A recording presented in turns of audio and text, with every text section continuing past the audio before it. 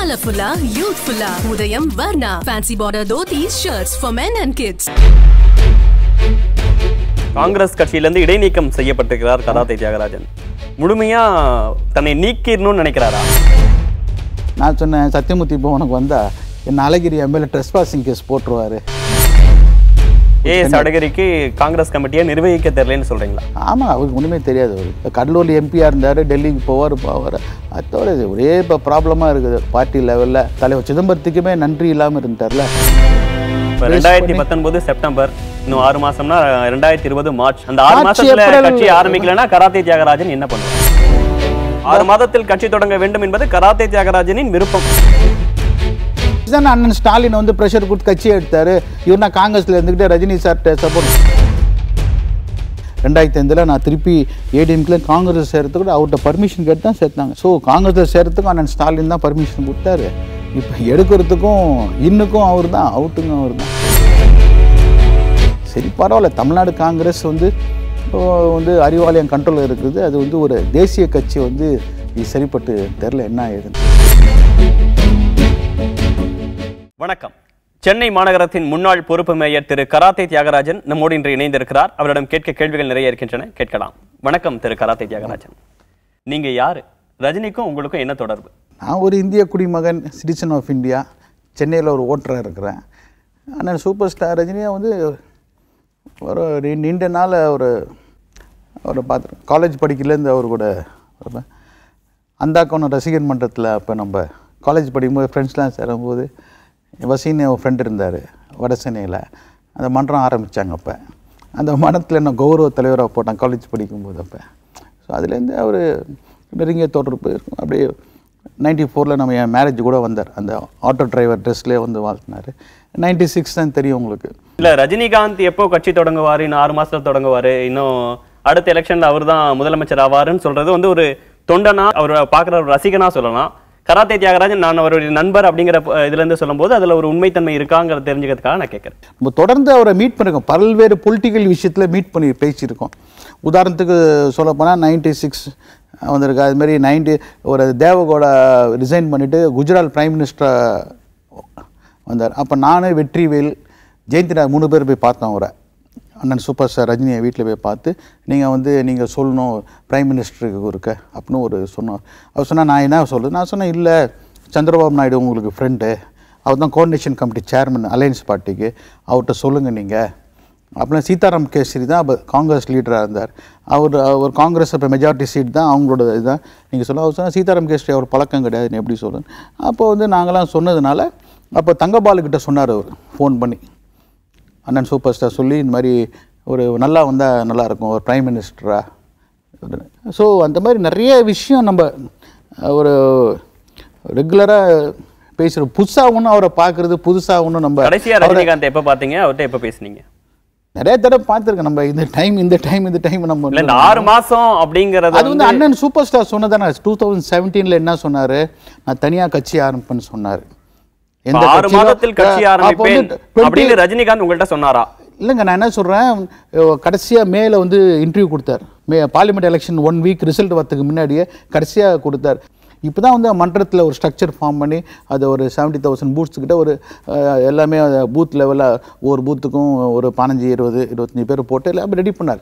அவர் சொன்னது ஒரு வந்து எப்படியும் ஒரு சிக்ஸ் டு எயிட் மந்த்ஸ்க்கு முன்னாடி. இப்போ twenty twenty one March and ஏப்ரலில் பார்லிமெண்ட் அசம்பிளி எலெக்ஷன்ஸ் ஸோ உங்களுக்கு டுவெண்ட்டி டுவெண்ட்டி தான் கட் ஆஃப் டிசம்பர் தான். டிசம்பரில் சிக்ஸ் டு எயிட் மந்த்ஸ்னால் அப்போ மார்ச் ஏப்ரல் இருநூத்தி முப்பத்தி நாலு தொகுதிகளையும் போட்டின்னு அவர் வெளிப்படையா அறிவிச்சிட்டாரு. டூ தௌசண்ட் அவர் வெளிப்படையா அறிவிச்சாரு ஆனா கட்சி நான் இப்ப தொடங்குவேன் அப்புறம் தொடங்குவேங்கிறத எப்பயுமே அவர் வெளிப்படையா சொன்ன மாதிரி எனக்கு ஞாபகம் இல்ல. ஆனா ஒரு சிக்ஸ் டு எயிட் மந்த்ஸ் முன்னாடி ஆரம்பிச்சவன். அதுக்கான ஃபார்மேஷன் ஜென்ரல் அதான் அதான் அண்டர்ஸ்டுட் அது.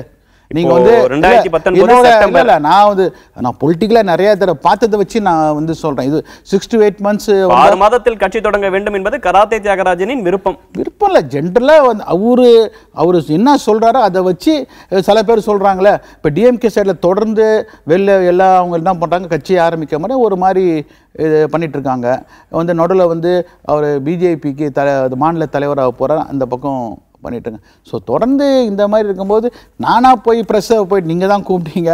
நீ கூட ஒரு சிலைக்கு மாலை போன ஆயிரத்தி சிலைக்கு கூப்பிட்டு கேட்கும்போது நம்மளாக போய் ஒரு ஒரு கருத்து சொல்லும்போது ஒரு ஒரு பொலிட்டிக்கல் பா ஒரு பார்ட்டி ஆரம்பிக்க போகிற நல்ல ஒரு நல்ல ம- ஒரு அண்ணன் வந்தால் நல்லாயிருக்கும் வந்தால் ஒரு தமிழில் ஒரு வேக்கண்ட் ஒரு நீங்கள் வந்து வெற்றிடத்தை வந்து கட்டாயம் நிரப்புவார் இல்லை இப்போ ஏஆர் முருகதாஸ் ஒரு படம் நடிச்சிட்டு இருக்காரு ஏஆர் முருகதாஸ் கூட.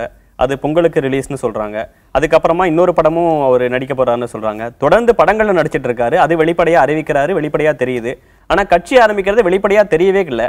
தொடர்ந்து படங்களே நடிச்சிட்டு இருக்கவர் இன்னும் ஆறு மாசத்துல கட்சி ஆரம்பிப்பார் அப்படின்னு சொல்றதுல தான் என்ன இருக்குன்னு கேட்கறேன் ஜென்டலாக நான் யாரையும் குறை சொல்ல சூப்பர் ஸ்டார் அண்ணன் ஒரு ரெண்டு நிமிஷம் அஞ்சு நிமிஷம் ஒரு ப்ரெஸ்ஸில் சொன்னால் ஒரு கோடி பேர் சோஷியல் மீடியாவில் மன்றத்துக்காரங்க ஆக்டிவ் ஆயிடுறாங்க ரசிகர்கள். ஒரு அஞ்சு கோடி பேருக்கு மெசேஜ் போயிடுது எந்த மெசேஜ் அதெல்லாம் கராத்தே தியாகராஜன் யூஸ் பண்ணிக்கணும்னு நினைக்கிறாரா? ரஜினிகாந்த் பத்தி பேசினா நம்ம வெளியில நிறைய பேத்துக்கு தெரியலாம். ரஜினியோட ரசிகர்கள் மத்தியில நம்ம பிரபலமாகலாம். அப்படின்னு அந்த- நினைச்சு நான் கராத்தே தியாகராஜன் ஆறு மாசத்துல கட்சி காங்கிரஸ்ல இருக்கும்போது தான் பேசியிருந்தேன். பேசுறேன்னா அதுதான் பெரிய குழப்பமே. காங்கிரஸ்ல? இருக்கும்போது மாவட்டத்தில் இருக்கும்போது உங்க டிபேட்ல பல முறை எனக்கு தெரிஞ்ச ஒரு இருபத்தஞ்சி முப்பது டிபேட்ல எல்லா டிவி சேனலையும் பேசிட்டேன். இப்போ ஒன்றும் பேசல. அதை வச்சு தான் அண்ணன் ஸ்டாலின் வந்து ப்ரெஷர் கொடுத்து கட்சியை எடுத்தாரு. இவர் நான் காங்கிரஸ்ல இருந்துக்கிட்டு ரஜினி சார்ட்ட சப்போர்ட் எனக்கு வந்து முக்குல் வாசனிக்கு சொன்னார் கூப்பிட்டு பேசக்கூடாதுன்னு. என்னைக்காச்சும் தலைவர் சிதம்பரம் வந்து நீ ரஜினி சாரை பார்க்காத ரஜினி சாரை பற்றி பேசாதுன்னு சொன்னார் என்கிட்ட? சொல்லுங்க. காங்கிரஸ் கட்சி லீடர் சொன்னாங்களா?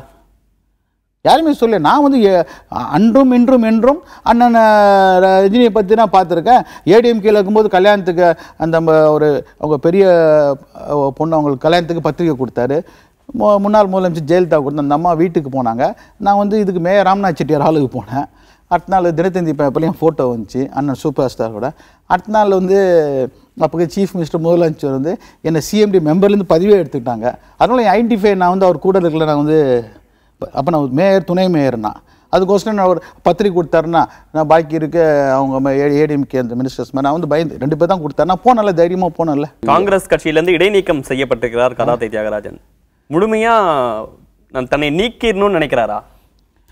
அப்படி அது காங்கிரஸ் எனக்கு தலைவர் சிதம்பரம் கூட ஒரு ஒரு இந்த ஆகஸ்ட் டுவெண்ட்டி ஃபஸ்ட்டுக்கு முன்னாடி சத்தியமூர்த்தி போன ஒரு மீட்டிங் நடத்தின காஷ்மீர் இஷ்யூவை அந்த இஷ்யூ கூட அழகிரியை கூப்பிட்டு கேட்டாராம். நான் தியாகராஜன் வரலையா மீட்டிங்னு கேட்டாராம். நான் சஸ்பெண்டு எனக்கு கூட ஒரு எஸ்எம்எஸ் கொடுத்தாரு. ஏன் மீட்டிங்க்கு வரலன்னு? நான் சொன்னேன் சத்தியமூர்த்தி இப்போ உனக்கு வந்தா என்ன அழகிரி எம்எல்ஏ ட்ரெஸ் பாசிங் கேஸ் போட்டுருவாரு. அப்படின்னு நானும் பதில் கொடுத்தேன் அவருக்கு. கன்னியாகுமரியில் போன வாரம் கூட்டம் ஒரே பிரச்சனை ஆயிடுச்சாங்க மீண்டும் அண்ணன் ஸ்டாலின் முதலமைச்சர் ஆகணும். சஞ்சய் டெட்டு சொன்னார். கட்சிக்காரன் எல்லாம் ஒரே கலட்டா பண்ணி பிரச்சனை பண்ணி கூட்டம் கூட்டமே பாதி நின்று கே காங்கிரஸ் கமிட்டியை நிர்வகிக்க தெரியலன்னு சொல்கிறீங்களா ஆமாம் அவருக்கு ஒன்றுமே தெரியாது அவருக்கு. அவர் ஏதோ சே கடலூர் எம்பியாக இருந்தார் டெல்லிக்கு போவார் போவார். அதோட இது ஒரே இப்போ ப்ராப்ளமாக இருக்குது. பார்ட்டி லெவலில் வந்து தலைவர் சிதம்பரத்துக்குமே நன்றி இல்லாமல் இருந்தார்ல. என்றைக்குமே அன்றைக்கி வந்து தொண்ணூறு பேர் வச்சு சத்தியமூர்த்தி மேலே ஆர்ப்பாட்டம் பண்ணுறாங்க முப்பது பேர் அரெஸ்ட் ஆகுறாங்க. மூணு கோஷ்டியாக இவர் வந்து அரெஸ்ட் ஆகும்னு சொல்கிறார் சத்தியமூர்த்தி மோகனில். கோபனா யாரையும் அரெஸ்ட் ஆகாதுன்னு சொல்கிறார் அந்த மாதிரி நிலைமையில் நீங்கள் சிதம்பரத்திற்கும் காங்கிரஸுக்கும் நன்றியோடு இருக்கீங்களா? தொடர்ந்து ரஜினிக்கு ஆதரவாக குரல் கொடுத்துட்டு வரீங்க. நான் வந்து கட்சி விட்டு எடுத்தேன் நான் வந்து தலைவர் நீங்கள் வந்து ராகுல் காந்தி தலைவர் பிறந்தநாள் நடந்துச்சு. சிலைக்கு மாலை போட்டு நிகழ்ச்சி பண்ணேன். சமீபத்தில் ஆகஸ்ட் டுவெண்ட்டி காமராஜர் பிறந்தநாள் நடந்துச்சு. வீட்டில் ஃபங்க்ஷன் எல்லாரையும் கூப்பிட்டு ஃபங்க்ஷன் பண்ணேன். என் மேலேயே போலீஸில் போய் கம்ப்ளைண்ட் கொடுத்தாங்க. காமராஜர் நிகழ்ச்சி தடுக்கிறது எப்படி பண்ணலான்னு சொல்லி. தலைவர் சிதம்பரம் பிறந்தநாள் வந்துச்சு. செப்டம்பர் சிக்ஸ்டீன்த்து அந்த நிகழ்ச்சி பண்ணேன். பத்திரிகையோட பார்த்துருப்பேன் செய்தியெல்லாம் வந்துச்சு. ஸோ தொடர்ந்து அந்த லீடர்ஸ் நான் வந்து மதிக்கிறேன். என்றைக்காச்சும் ஒரு வார்த்தை இன்னைக்கு அஹ், அன்னை சோனியா காந்தியோ தலைவர் ராகுலுக்கு மத்திய நான் வந்து எதுவுமே நான் பேசவே இல்லைண்ணா ரஜினியும் கமலும் அரசியலுக்கு வர வேணாம்னு சிரஞ்சீவி ஒரு அட்வைஸ் பண்றாரு. இந்த பக்கம் கராத்தே தியாகராஜன் இன்னும் ஆறு மாசத்துல ரஜினி கட்சி தொடங்குவார் அப்படின்னு சொல்றாரு. ரஜினி கராத்தே தியாகராஜனோட குரலை கேட்பாரா சிரஞ்சீவியோட குரலை கேட்பாரா? சிரஞ்சு ஆந்திரா சூப்பர் ஸ்டார் சிரஞ்சீவி வந்து ஒரு கட்சி ஆரம்பிக்கும் போது அன்றைக்கி ரெண்டு பெரிய டாலஸ்ட் லீடர்ஸ் இருந்தாங்க. வந்து அங்கே ராஜசேகர் ரெட்டி அந்த பக்கம் சந்திரபாபு நாயுடு அங்கே வந்து caste based politics Reddy Rajasekhar Reddy இவர் வந்து இன்னொரு காஸ்ட் இருக்காங்க. ஸோ அதில் வந்து அந்த காஸ்ட் பேஸில் நம்ம தேர்ட் பொசிஷன் தான் பார்ட்டி ஆரம்பிக்கும் போது ஸோ ஃபைட்டே வந்து ராஜசேகர் ரெட்டி வாசஸ் சந்திரபாபு நாயுடு தான். இவர் நம்ம தேர்ட் பிளேஸில் வந்துட்டார். ஸோ அது அது வந்து ஆந்திரா சிஸ்டம் வேறு தமிழ்நாடு சிஸ்டம் வேறு. இந்த தமிழ்நாட்டில் வந்து இன்றைக்கி வந்து கலைஞர் அந்த முன்னாள் முதலமைச்சர் ஜெயலலிதா அம்மையார் அவங்க இல்லாத நேரத்தில் இவர் ஒரு பெரிய ரெண்டு பேர் இருக்கும்போது தன்னோட அந்த அந்த ஸ்டேஜில் பேசி லாங் ஸ்டாண்டிங் இன்னைக்கு வந்து பொலிட்டிக்கலாக பல்வேறு பொலிட்டிக்கல் ஸ்டேஜ் பல்வேறு பொலிட்டிக்கல் லீடர்ஸ் மத்தியிலும் இவர் பேசுறது எடுப்பறது பெரிய வந்து இன்னைக்கு பெரிய ஈடுபட்டுச்சு யாரு? நைன்டி சிக்ஸ் அவர் சொல்கிறதானே நைன்டி சிக்ஸ் விட்டுருங்க. அதுக்கப்புறம் எங்க ஈடுபட்டது? நைன்டி எயிட் அவர் சொல்லாட்டி இந்த நைன் சீட்ஸ் வந்திருக்காது six seat plus three seats வந்திருக்காது டூ தௌசண்ட் ஃபோர் இந்த பக்கம் பெரிய அலையன்ஸ் ஒரு ஆதரவு அதிமுக இந்த தேர்தலுக்கு முன்னாடி இந்த தேர்தலுக்கு முன்னாடி பத்து பேர் சேர்ந்து ஒருத்தனை எதிர்த்தாங்கன்னா பத்து பேர் பலசாலியா இல்ல அந்த ஒருத்தன் பலசாலியான்னு கேட்டாரு. மோடி தமிழ்நாட்டுல ஜெயிச்சிட்டாரா என்ன? யாருக்கு? நீங்க ஆல் இந்தியா தானே எடுத்துக்கணும் நீங்க. நீங்க மோடி பிரைம் மினிஸ்டரா வரலையா இன்னைக்கு? இவர் முந்நூறு சீட்டுக்கு மேல வந்து ஆல் இந்தியாக்காக ரஜினி வாய்ஸ் கொடுத்தாரா இல்ல தமிழ்நாட்டுக்காக வாய்ஸ் கொடுக்கல அவரு. நீங்க கேட்ட கேள்விக்கு பதில் சொன்னாரு. பிஜேபி பத்தி கேட்டாங்க அன்னைக்கு அதை பத்தி நான் சொல்ல விரும்பலன்னு சொல்லிட்டார். ஒரே வார்த்தை. பத்து பேர் பலசாலியா? தனித்து பத்து பேர் எதிர்த்து நிக்கிற ஒருத்தர் பலசாலியான்னு கேட்டாரு. அந்த அந்த தகவல் தானே தலைவர் சிதம்பரமும் சொன்னாரு. அவர் வந்து ஒரு பெரிய ஒரு அஹ், இருக்காரு நம்ம அந்தந்த ஸ்டேட்ல எடுத்து ஸ்ட்ராங் அலைன்ஸ் பண்ணிட்டு பிஜேபி வின் பண்ண விட பல கருத்தை அவரும் சொன்னார்ல. இப்ப இல்ல இங்க தமிழ்நாட்டுல வெற்றிடம் இருக்கு ஜெயலலிதா இல்ல கருணாநிதி இல்ல அப்படின்னு தொடர்ந்து சொல்றீங்க. இந்த தேர்தல்ல திமுக கூட்டணி ஒரு அபார வெற்றி பெற்றிருக்குல்ல. திமுக கூட்டணி காரணமே வந்து வெறும் டிஎம்கே அண்ணன் ஸ்டாலின் கிடையாது. ராகுல் காந்தி பிரைம் மினிஸ்டர் சொன்னது சிறுபான்மை ஒரு இஸ்லாமியர் மக்கள் ஒரு கிறிஸ்துவ மக்கள் எல்லாம் சேர்ந்து வந்து ஒரு சிபிஐ சிபிஎம் வெற்றியை வந்து திசை திருப்ப பாக்குறீங்களா? அவர் வெற்றி இல்லை எல்லாமே காம்பினேஷன்ல டூ தௌசண்ட் ஃபோர்டீன் வின் பண்ணியிருக்கணும்ல. அவங்க தனியா இருந்தா அவர் பெரிய காம்பினேஷன் எல்லாமே ஒரு கோயிலேஷன் ஒரு சேர்ந்து பண்ணது ரஜினிகாந்த் தமிழகம் சார்ந்த எந்த விஷயத்துக்கு இப்ப குரல் கொடுக்கிறார்? இப்போ சுபஸ்ரீ மாதிரியான ஒரு இளம்பெண் உயிரிழப்புக்கு தமிழகமே கொந்தளிக்குது. அவர் அதற்கு காரணமானவர்கள் தண்டிக்கப்பட வேண்டும் என்று தமிழ்நாடே ஃபுல்லாக எல்லாம் எதிர்க்கிறாங்க. ஆனால் ரஜினிகாந்த் அதுக்கு கூட ஒரு ட்வீட் போட மாட்டேங்கிறாரு. இல்லை நீங்கள் ஏர்போர்ட்டில் பார்த்து பேனர் கூடாதுன்னு சொன்னேன் ஏற்கனவே நான் சொல்லிட்டேன். கடைசியாக வந்து ஏர்போர்ட்டில் சொல்லும்போது பேனர் விஷயம் தப்பு. நானும் இதுன்னு சொன்னேன். எல்லா விஷயத்துக்கும் ரஜினிகாந்த் ஏதோ ஒரு வெளி மாநிலத்திற்கோ வெளிநாட்டிற்கோ போகும்போது ஏர்போர்ட்ல பார்த்து பிரஸ் மீட்ல நம்ம கேள்வி கேட்டு பதில் வாங்கினாதான் உண்டு. ட்வீட்ல எதை பத்தி பேச மாட்டாரு. இல்லை அவர் முக்கியமான விஷயத்துக்கு பதில் சொல்லி தான் சொன்னார்? இல்லை ஜென்ரலாக எல்லாமே வந்து, ஒரு ஹிந்தி திணிப்பு ஸ்டெர்லைட் அப்ப ஐபிஎல் போராட்டத்தப்ப ஐபிஎல் போராட்டத்துக்கு வந்து காவல்துறை அவங்க ஒரு அடிச்சு தப்புன்னு தானே சொன்னார் வந்து. இந்த வந்து அந்த அப்பல வந்து அவங்களே வந்து டைரக்டர் பாரதி கமிஷனரை பார்த்து நான் பண்ணது தப்புன்னு அவரும் வந்து சொன்னார் கமிஷனரை பார்த்து அடுத்த நாள் பார்த்து நாங்கள் இது பண்ணது தப்புங்க எக்ஸிட் பண்ணிட்டோம் இதில் விட்டுருங்கன்னு சொல்லி அண்ணன் ஒரு டைரக்டர் பாக்கிய பாரதி ராஜா போய் சொல்லி கமிஷனர் பார்த்து போலீஸ் கமிஷனர் பார்த்து சொன்னார்ல. ரஜினிகாந்த் பிரசாந்த் கிஷோரை சந்திச்சாரு. தேர்தல் வித்தகர்னு சொல்லக்கூடிய பிரசாந்த் கிஷோரை சந்திச்சாரு அப்படிங்கிற ஒரு தகவல் வந்திருக்கு. அவருடைய நண்பரா அவருக்கு அவர் உங்களுடைய அவருடைய தம்பியா அதை நீங்க உறுதிப்படுத்த வேண்டிய இடத்துல இருக்கீங்கன்னு நினைக்கிறேன். எனக்கு அது உங்கள்கிட்ட சொல்லாம சந்திச்சிட்டாரோ? ஏன் இப்ப எல்லாமே எப்படிங்க? அவர் வந்து நம்ம எப்படி? எனக்கு தெரிஞ்சால் தானே சொல்ல முடியும் நம்ம வந்து. சமீபத்தில் சந்திச்ச மாதிரி எனக்கு ஒன்றும் தகவல் இல்லை. இப்ப ஆறு மாதத்தில் கட்சி தொடங்க போகிறார். அடுத்த தேர்தல்லே நேரா முதலமைச்சர் சீட்ல உட்காந்துருவார் அப்படிலாம் சொல்றீங்கன்னா ஏதோ ரஜினிக்குள்ள ஒரு வியூகம் இருக்கு அவருக்குள்ள ஒரு திட்டம் இருக்கு அப்படின்னு நம்ம தெரிஞ்சுக்கிறோம். என்ன திட்டம் ரஜினி வச்சிருக்கார்? இல்லைங்க அவர் தான் நான் சொன்னேன். ஏற்கனவே வந்து நம்ம வந்து அண்ணன் ஏசி சண்முகம் அந்த ஒரு ஃபங்க்ஷன்லேயே வந்து சொன்னார். நான் வந்து பார்ட்டி வரைக்கும் போகிறேன் ஒரு புரட்சி தலைவர் எம்ஜிஆரை கோட் பண்ணி பேசினார். ஸோ லைனாக சொல்லிட்டு தான் நான் வந்துட்டு பார்ட்டி ஆரம்பிக்க போகிறோம் என்ன வர போகிறோம் ஸோ அவர் வந்து ஒரு பாலிசிலாம் அவர் அவர் தானே சொல்ல போகிறார் வந்து. என்ன ஏது பார்ட்டியை அனௌன்ஸ் பண்ண பிறகு அந்த பாலிசிலாம் அவர் தானே வந்து எப்படின்னு அவர் தானே சொ சொல்லுவார் நம்மளை பார்ட்டி ஆரம்பிப்பாருன்னா ஓரளவுக்கு நம்மளுக்கு வந்து ஒரு அவர் சொன்ன அந்த வருஷனை வச்சு இவ்வளோ நாளாக நம்ம அவர் அந்த பார்க்குறது அந்த இத்தனை வருஷமாக நம்ம அவர் மீட் பண்ணி பேசுறதுனால வந்து அது ஒரு எனக்கு பல தகவல் வருதுன்னா அதை பேஸ் பண்ணி நான் வந்து நான் சொல்கிறேன் பல தகவல்கள் வருது. அது ரஜினி கிட்ட இருந்து வருதா அப்படின்னு பல தெரிஞ்சுக்கிறதுக்கு தகவல் பல பேர்கிட்ட வரதுனால நம்ம அதை ரெண்டாயிரத்தி பத்தொன்பது செப்டம்பர் இன்னும் ஆறு மாசம்னா ரெண்டாயிரத்தி இருபது மார்ச். அந்த ஆறு ஏப்ரல் கட்சி ஆரம்பிக்கலன்னா கராத்தே தியாகராஜன் என்ன பண்ணுவார்? அப்படின்னு சொல்ல முடியாதுங்க. நம்ம ஒரு ஒரு ஒரு ஒரு ஒரு தகவலை கேட்குறேன் நானாக போயிட்டு ப்ரெஸ்ஸை பார்க்கறதில்ல ஒரு தகவல் கேட்கும்போது ஒரு வந்து இத்தனை வருஷமாக நம்ம ஒரு பார்க்குறோம் பாக்குறாங்க கேக்குறாங்க சும்மா போட்டு விடுவோம் அப்படின்னு. போட்டு விடலாம் கிடையாது. அப்படி இல்லை. அவர் தான் அண்ணனே சொல்லிட்டார்ல சூப்பர் ஸ்டார் அண்ணனே டூ தௌசண்ட் செவன்டீன் நான் பார்ட்டி ஆரம்பிக்க போகிறேன் நான் வந்து ஒரு பாலிசிலாம் அவர் தானே சொல்லுவார் வந்து.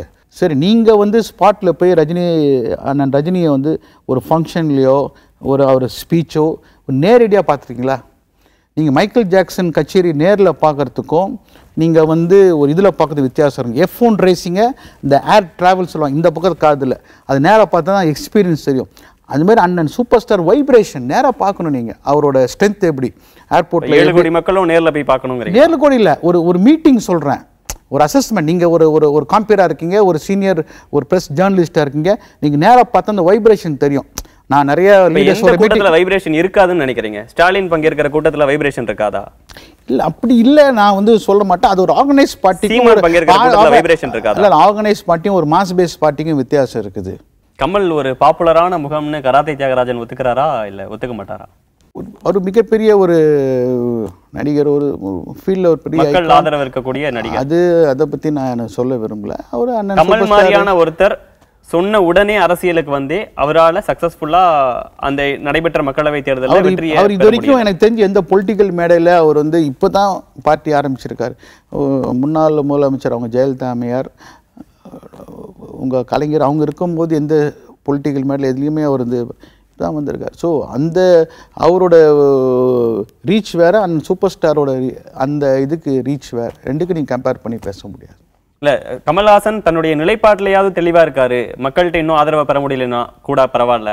ஆனா ரஜினிகாந்த் அந்த நிலைப்பாட்டிலையும் தெளிவா இல்லாத மாதிரியான ஒரு பிம்பம் வெளியில இருக்கு. அது நீங்கள் தானே சபரிமலையா சொல்றீங்க. இருக்கட்டும் இல்ல நான் கேட்கிறேன் உங்கள்ட்ட. சபரிமலையா இருக்கட்டும் நீட்டா இருக்கட்டும் ஹிந்தியா இருக்கட்டும் எல் மீட்டு விஷயமா இருக்கட்டும் எல்லாத்துலயுமே ரஜினிகாந்த் ஒரு ரெண்டு நிலைப்பாடு.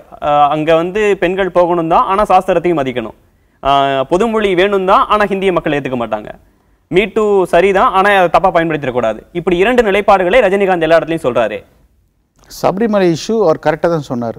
காங்கிரஸ் டெல்லி காங்கிரஸ் வந்து ஒரு ஸ்டாண்ட் எடுத்தாங்க சுப்ரீம் கோர்ட் ஆர்டர் ஆனா கேரளா காங்கிரஸ் சார் ரமேஷ் சனிதாலா முல்லப்பள்ளி ராமச்சந்திரன் இல்ல, இல்ல, இல்ல, நீங்க வந்து அதே டெல்லி கேசிவன் இருந்து ஒரு சொல்றாரு ஒரு கருத்து சொல்றாரு. ஆனா கேரளாவுக்கு போனா கேரளா ரமேஷ் சனிதாலா கேரளா காங்கிரஸ் எதிர்க்கட்சி தலைவர் முல்லப்பள்ளி ராமன் மாநில காங்கிரஸ் அவங்க என்ன ஸ்டாண்டர்ட் சொன்னா அதை நான் சொன்னாரு அது ஒரு சென்டிமெண்ட் கலந்த விஷயம். என்னதான் கோர்ட்ல இருந்தா கூட அந்த மக்கள் கேரளா காங்கிரஸ் சொன்ன கருத்து தான் அவர் சொல்றாரு அவரு.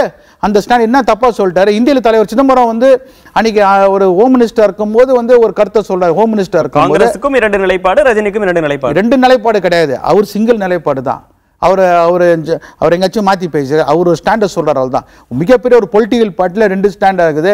அண்ணன் மிகப்பெரிய அண்ணன் அண்ணன் ஸ்டாலின் வந்து கருத்தை சொல் கவர்னர் சொல்லி தான் நான் வித்ரா பண்ணுன்னு சொல்றாரு. ரெண்டு அஹ், கழிச்சு டிஆர் பால் என்ன சொல்றாங்க டிஆர் பால் நாங்க கவர்னரே சொல்ல நாங்க தான் வித்ரா பண்ண அந்த இதுல அந்த முரண்பாடை நீங்க ஏன் கேட்க மாட்டேங்கிறீங்க நீங்க? அந்த திமுக கரெக்டா தான் சொல்றாருங்க. ஹிந்தி பேசுறத கரெக்டா சொன்னாரு. அது மாதிரி சபரிமலை விஷயத்த அவர் ஸ்டாண்டை வந்து கரெக்டாக தான் சொன்னார். எல்லா விஷயத்தையும் கரெக்டாக தானே வந்து அவர் சொல்றாரு. நீங்கள் தான் அவரை போட்டு கன்ஃபியூஸ் பண்ணி அவர் ஒரு பொலிட்டிக்கல் லீடர் வரத்துக்கு முன்னாடியே வந்து ஏன் ஸ்டாண்டை சொல்ல அப்படி சொல்ல? ரஜினி ஆறு மாதத்தில் அரசியலுக்கு வருவார் அப்படின்னு கராத்தே தியாகராஜன் ஒரு நம்பிக்கையை வெளிப்படுத்துற மாதிரி நாம் தமிழர் கட்சியின் தலைமை ஒருங்கிணைப்பாளர் சீமான் ஐ எம் வெயிட்டிங் மராட்டியனா மான தமிழனான்னு பார்த்துடலாம் அப்படின்னு ஒரு விஷயத்தையும் சொல்கிறாரு தெரில ஒரு சீமான் அவர் ஸ்டாண்டு அவர் வந்து சொல்கிறாரு கரெக்டு அவர் வந்து நம்ம கேப்டன் விஜயகாந்த் கட்சி ஆரம்பிச்சார். அவர் வின் பண்ணார் பத்து பர்சன்ட் ஓட்டு வாங்கினார். இது வரைக்கும் அவர் வந்து அட்லீஸ்ட் அவர்னாச்சும் ஒரு ஒரு அசெம்பிளி தொகுதியில் வின் பண்ணி காமிச்சிருக்கணும் அவர். இவ்வளோ பெரிய நான் நான் த சொல்கிறேன் அப்போ நாங்கள் மட்டும் ஹிந்திக்காரங்களா? நான் மட்டும் தமிழர் தானே நம்ம தமிழ்நாட்டில்? சினிமாவில் இத்தனை வருஷம் ஒரு இப்போ கூட ஒரு படம் நடிச்சிருக்காரு யாரு? சீமானு. படமே வீக்கல. அவரே சொல்லியிருக்க வருத்தப்பட்ட படமே வீக்கல. டேரக்டரும் பேட்டி கொடுத்துருக்காரு. ஸோ சீமா சினிமாலையும் அவர் ப்ரூவ் பண்ண முடியல டேரக்டர் சீமான் தான் வந்திருக்கு. இதுலேயும் அவர் வந்து வராரு. அவர் பேஸ்ட்டு போட்டு என்ன ஆகுது? அவர் ஒரு கருத்து இருக்கு ஒரு கட்சியை வச்சிருக்காரு. அவர் பேஸ்ட்டு போட்டோம் அதுக்கெல்லாம் அடுத்த சூப்பர் ஸ்டார்னு சொல்றாரு. யாரு? விஜய் வரட்டும் நான் வரவேற்கிறேன். ரஜினிக்கு அடுத்து சூப்பர் ஸ்டார் அப்படின்னு விஜய் வரட்டும் நான் வரவேற்கிறேன். வட்டும் வட்டுமே. விஜய்னா ஒரு அவரும் ஒரு ஃபாலோயிங் ஒரு ஒரு பெரிய ஒரு ஃபீல்டில் வந்திருக்காரு. அவரும் ஒரு பெரிய வில்லன் சொல்ல முடியும் யங்ஸ்டரு ஒரு சினிமாவில் வட்டும். யாரை வேணாலும் கட்சி ஆரம்பிக்கலாம் ஜனங்களை ப்ரூவ் பண்ணுங்க இது பண்ண சொல்லுங்க வேணாம்னு சொல்லி நம்ம ஒன்றும் தமிழக பாஜக தலைவர் பதவி இன்னும் காலியா இருக்கு. ரஜினிகாந்தும் இன்னும் எந்த கட்சியும் தொடங்காம இருக்காரு. இவர் அந்த இடத்துல அமர்வதற்கான வாய்ப்புகள் இருக்கா? அது பிஜேபி அவங்க தான் அவங்க அவங்க பார்ட்டில் தான் யாச்சும் வருவாங்க. அண்ணன் சூப்பர் ஸ்டாரை பொறுத்த மட்டும் அவர் வந்து தனி கட்சி தான் எனக்கு தெரிஞ்சு ஃபார்ம் பண்ணார் பிஜேபியில் அந்த அந்த இதுக்கு போஸ்ட்டுக்கு வந்து அவர் போக மாட்டார். நாங்குநேரி தொகுதியை காங்கிரஸ்க்கு விட்டு கொடுத்தனால அப்ப கராத்தே தியாகராஜன் ஒரு அறிக்கையை கொடுத்திருந்தார். என்ன ஸ்டாலின் மேல உங்களுக்கு அவ்வளவு கோவம்? எனக்கு அண்ணன் ஸ்டாலின் மேலே நமக்கு என்ன கோவம் வரும்? ஒரு மிகப்பெரிய லீட்ரு நல்ல மனிதர் வெள்ளை மாளிகின் வெண்புறா இளைஞரின் எழுச்சி மிகு நாயகன் கலைஞரின் தமிழ் போல உழைப்பின் தளபதி. அது மாதிரி தானே ஒரு மேயராக இருக்கும்போதெல்லாம் பேசுவாங்க. ஸோ அதனால அவர் மேலே நம்மளாம் ஒன்றும் பர்சனலாக என்ன ஆகுது அவர்? கொடுத்திருக்க கூடாதுன்னு நினைக்கிறீங்களோ? தொகுதி அப்படி ஒன்றும் அவரை பற்றி நம்ம எதுவுமே சொல்லியே அண்ணன் நேரு ஒரு கருத்தை சொன்னார் ஜூன் இருபத்தொன்று அந்த கருத்தை ஒட்டி நான் ஒரு கருத்தை சொன்னேன். வேற எதுவும் நான் வந்து தப்பால் நன்றி தானே சொன்னேன். அண்ணன் ஸ்டாலின் இந்த சீட்டை கொடுத்து நன்றி தானே சொன்னான் ஸ்டாலின். அவரை பற்றிலாம் நம்ம இதுக்கு பேச நம்ம இந்த இப்போ கட்சி விடுறதுக்கு கூட வந்து என்ன சொன்னார் அழகிரி நான் என்ன பண்ண முடியும்? டெல்லியில் வந்து அண்ணன் ஸ்டாலின் ப்ரெஷர் பண்ணிட்டார் கட்சி விட்டு எடுத்தார். ரெண்டாயிரத்தி ஐந்தில் நான் திருப்பி ஏடிஎம்கில் காங்கிரஸ் சேர்த்து கூட அவர்கிட்ட பர்மிஷன் கேட்டு தான் சேர்த்தாங்க. ஸோ காங்கிரஸில் சேர்த்துக்கும் அண்ணன் ஸ்டாலின் தான் பர்மிஷன் கொடுத்தாரு. இப்போ எடுக்கிறதுக்கும் இன்னுக்கும் அவர் தான் அவுட்டுக்கும் அவர் தான். சரி பரவாயில்ல. தமிழ்நாடு காங்கிரஸ் வந்து வந்து அறிவாலயம் கண்ட்ரோலில் இருக்கிறது அது வந்து ஒரு தேசிய கட்சி வந்து இது சரிப்பட்டு தெரில என்ன ஏதுன்னு. ஆறு மாதத்தில் கட்சி ஆரம்பிப்பார்னு சொல்லியிருக்கீங்க. பார்ப்போம் ஆறு மாதம் கழிச்சு மீண்டும் இதே மாதிரி ஒரு நேர்காணலை சந்திக்கலாம். இங்கே வந்து கருத்துக்களை பகிர்ந்து கொண்டமைக்கு நன்றி. நன்றி. Colorfula, youthfula, Udayam Varna, fancy border dhotis, shirts for men and kids.